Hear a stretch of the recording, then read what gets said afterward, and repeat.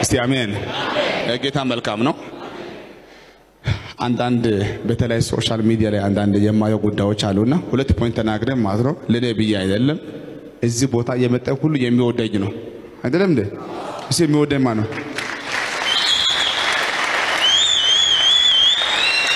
አሜን። ቢያመኝ እንደሚያማቸው አውቃለሁ። ቢሰማኝ እንደሚሰማቸው አውቃለሁ። ለእኔ ባይሰማኝ እንደሚሰማቸው አውቃለሁ። ኢየሱስ ጌታ ነው። ኢየሱስ ጌታ ነው።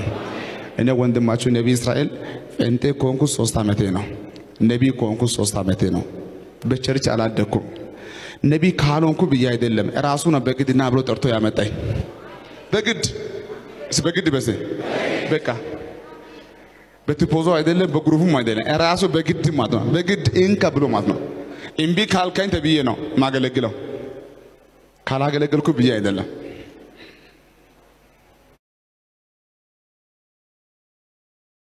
I don't think hell exists. I happen to believe in life after death, but I don't think it's got a thing to do with reward and punishment. Religion is always in the control business. Uh, and that's something people don't really understand. It's, it's in the guilt producing control business. And if you have heaven as a place where you're rewarded for your goodness and hell as a place where you're punished for your evil, then you sort of have control of the population. And so they create this fiery place, which has quite literally scared the hell out of a lot of people throughout Christian history. Mm-hmm. And it's part of a control tactic. But wait a minute, you're saying that hell, the idea of a place under the earth or somewhere where you're tormented for an eternity, is actually an invention Oh, of yes. the church? I think the church fired its furnaces hotter than anybody else. but I think there's a sense in most religious life of, of reward and punishment in some form. The church doesn't like for people to grow up because you can't control grown ups. That's why we talk about being born again. When you're born again, you're still a child. The people don't need to be born again. They need to grow up. They need to accept their responsibility for themselves and the world.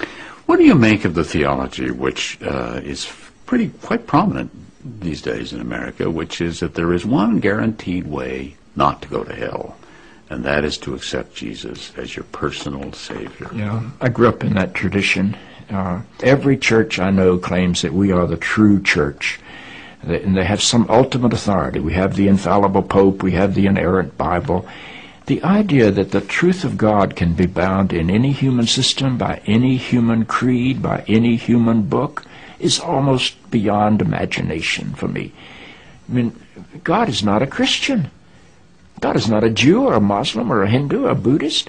All of those are human systems which human beings have created to try to help us walk into the mystery of God. I honor my tradition. I walk through my tradition. But I don't believe my tradition defines God. I think it only points me to God. You and I are emerging people, not fallen people. Our problem is not that we are born in sin. Our problem is we do not yet know how to achieve being fully human.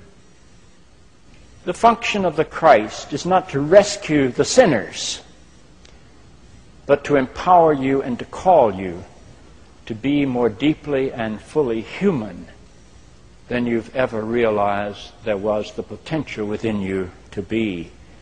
Maybe salvation needs to be conveyed in terms of enhancing your humanity rather than rescuing you from it.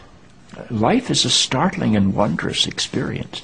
And eventually, I think we're going to discover that God is unfolding through the life of our consciousness and our self consciousness and is not a parent figure up in the sky. But I believe because I'm related to something that is not bound by time and space, that I will share in whatever God's eternity is.